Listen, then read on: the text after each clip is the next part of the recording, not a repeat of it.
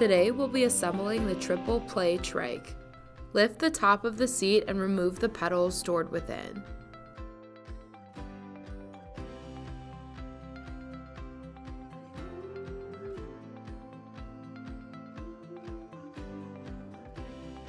Align the rear wheel assembly with the frame. Ensure the gray button is facing up.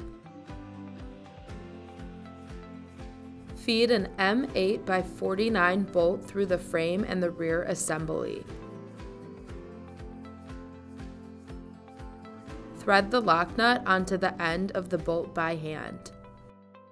Press the lock nut into the hexagonal hole in the bottom of the frame. Use the provided Allen wrench to fully tighten the bolt while continuing to press on the nut.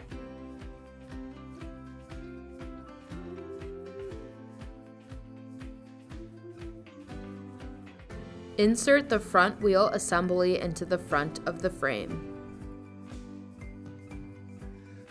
Slide the white clamp cover onto the handlebar stem followed by the clamp.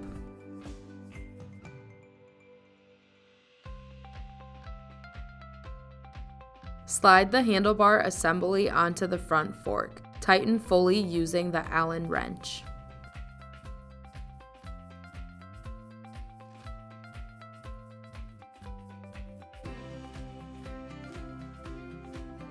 Slide the clamp cover down until it snaps into place. Fit the seat clamp over the seat tube. Slide the seat into place and clamp in place. Note you may need to tighten the nut if the clamp is too loose. Press the gray button at the rear of the frame and pull the legs apart. Press the gray buttons at each wheel joint while rotating them outward. To assemble the pedals, align the crank with the front fork and press into place. Note the crank is keyed and will only fit into the fork in one orientation. To disassemble the pedals, press down on the gray tabs while pulling the pedals free. There's storage space for the pedals under the seat for ride-on and balance bike mode. Now you're ready to roll.